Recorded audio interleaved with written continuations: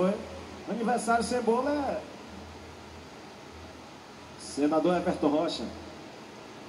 Senador Everton Rocha, lá de São Luís do Maranhão, está doando uma tonelada de alimentos. Obrigado, Danilo. Obrigado, Jair, meu